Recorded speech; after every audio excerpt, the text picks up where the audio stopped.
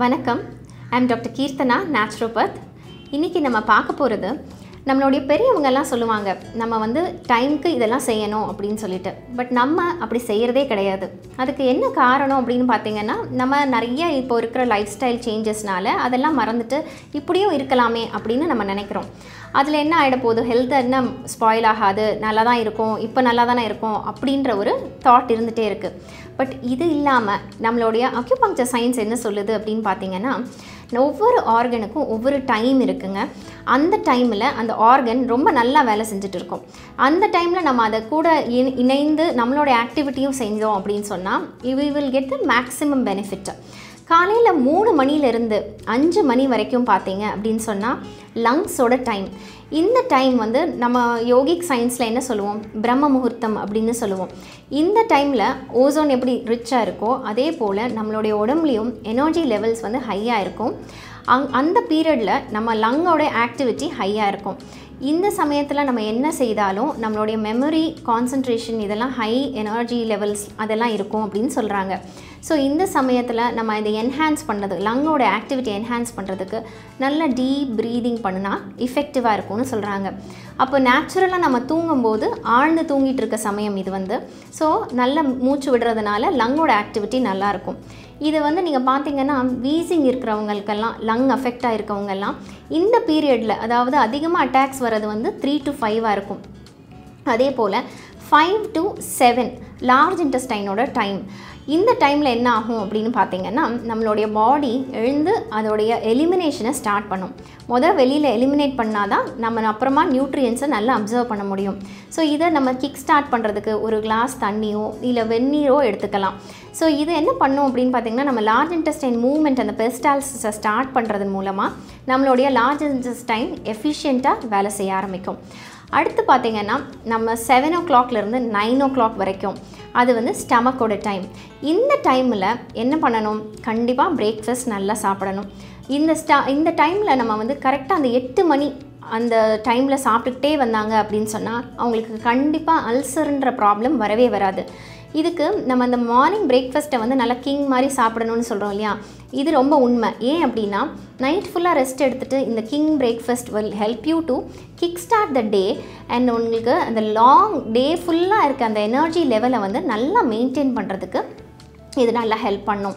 அடுத்து பார்த்தீங்கன்னா நைன் ஓ இருந்து லெவன் ஓ கிளாக் வரைக்கும். இது வந்து ஸ்ப்ளீனோட எனர்ஜி டைம் ஸோ இந்த டைமில் என்ன பண்ணணும் அப்படின்னு பார்த்தீங்கன்னா தண்ணி குடிக்காமல் இல்லை எந்த லிக்விடும் எடுக்காமல் இருந்தால் ஸ்ப்ளீனோட ஃபங்க்ஷன் ஸ்ப்ளீன் பேங்க்ரியஸோட ஃபங்க்ஷன் நல்லா என்ஹான்ஸ்டாக இருக்கும்.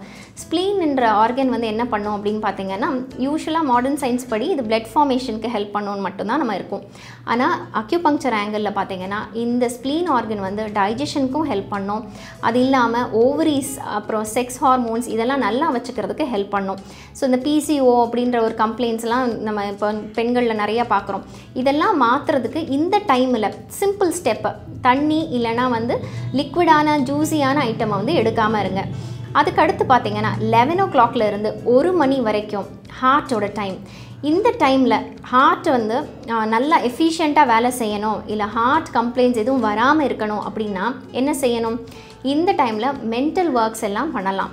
ஃபிசிக்கல் ஒர்க் எதுவும் பண்ணாமல் அதாவது ரொம்ப ஸ்ட்ரெயின் பண்ணுற மாதிரி பாடி ஆக்டிவிட்டி எதுவும் இல்லாமல் வச்சுக்கிட்டீங்க அப்படின்னு சொன்னாலே it will help your heart அந்த டைம் வந்து அகெயின் லைட் um, அதாவது பிரேக்ஃபாஸ்ட்டை விட கொஞ்சம் லைட்டாக இருக்கிற மாதிரி லஞ்ச் சாப்பிட்றதுக்கும் இது எஸ்- uh, ஒரு சூட்டபிளான டைம் அடுத்து ஒன் ஓ கிளாக்லேருந்து த்ரீ ஓ கிளாக் வரைக்கும் பார்த்தீங்க அப்படின்னா இது வந்து ஸ்மால் இன்டெஸ்டைனோட டைம் இந்த டைமில் என்ன பண்ணணும் அப்படின்னா மேக்ஸிமம் லேட் லேட்டாக சாப்பிட்றவங்க கூட ஒரு ரெண்டு மணிக்குள்ளே சாப்பிட்றத முடிச்சிட்டிங்க அப்படின்னா பாடி அந்த ஃபுட்டை நல்லா அப்சர்வ் பண்ணி அசிமுலேட் பண்ணுறதுக்கு யூஸ்ஃபுல்லாக இருக்கும்.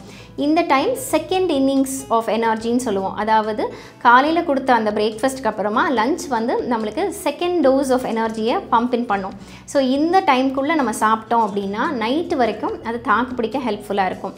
அடுத்து த்ரீ ஓ இருந்து ஃபைவ் ஓ கிளாக் வரைக்கும் யூரினரி பிளாடரோட டைம் இந்த டைமில் என்ன பண்ணணும் அப்படின்னா நல்லா வாக்கிங் போகலாம். இல்லைனா வந்து நம்ம கொஞ்சம் காலுக்கு எக்ஸசைஸ் கொடுக்கலாம். அது கூட நல்ல ஹாட் ட்ரிங்க்ஸ் இதெல்லாம் எடுத்துக்கிட்டோம் அப்படின்னு சொன்னால் யூரினரி பிளாடர் நல்லா எஃபிஷியண்ட்டாக வேலை செய்யும். அதே போல் ஃபைவ் ஓ கிளாக்லேருந்து செவன் ஓ கிளாக் வரைக்கும் கிட்னியோட டைம் இப்போ நான் யூரினரி பிளாடருக்கு சொன்ன அதே விஷயங்களை கிட்னிக்காகவும் செய்துக்கலாம். இதை செய்யும்போது நம்ம கிட்னி இந்த யூரினரி பிளாடரில் இருக்க கம்ப்ளைண்ட்ஸ் எல்லாம் நல்லா காணா போயிடும்.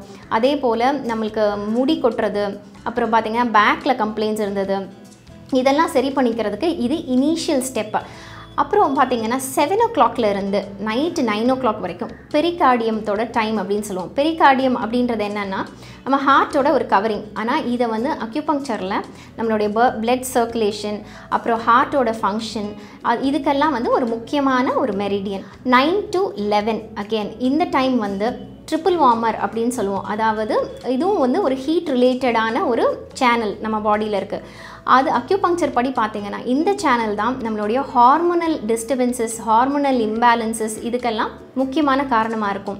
ஸோ இந்த சேனலை ஸ்ட்ரென்தன் பண்ணுறதுக்கு இந்த சமயத்தில் கண்டிப்பாக தூங்க ஆரம்பிச்சிருக்கணும்.